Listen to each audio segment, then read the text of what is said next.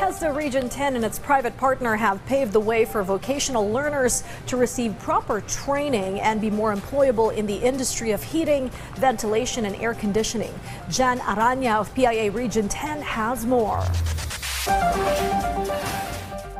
In response to the growing demands of heating, ventilation, and air conditioning industry, the Technical Education and Skills Development Authority, through its Regional Training Center Tagoloan, partners with Daikin Industries Philippines to establish the first HVAC training center in Region 10.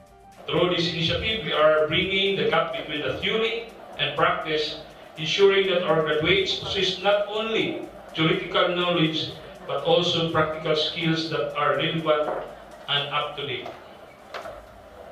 With the establishment of this TESDA Daikin Training Facility, we have taken a giant leap forward in ensuring that our skilled workers are equipped with the latest techniques and technologies in HVAC system.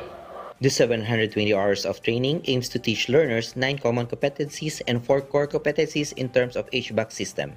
After completion of the course, they will be qualified as commercial air conditioning unit installer, maintenance technician, and service technicians.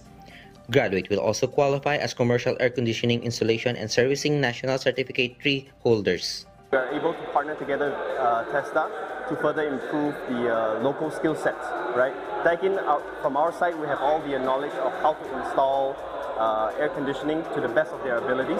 So together with TESDA, they also have this same mindset. So together, I believe we form a very strong group to promote uh, Filipinos' um, skill sets, to basically to up upskill Filipino skill sets in this area.